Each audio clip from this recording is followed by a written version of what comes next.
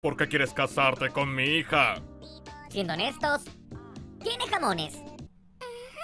Esa es la misma razón por la que me casé. Tengan mi bendición.